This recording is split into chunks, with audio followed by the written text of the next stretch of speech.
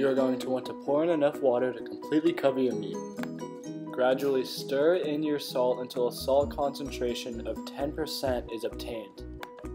Place the meat in the brine and then seal the container. A day later, take the meat out of the brine and place on a dry surface. Continue the salting process by completely layering the piece of meat in salt. Seal it off in a cool, dry container. Store the container in a dry area.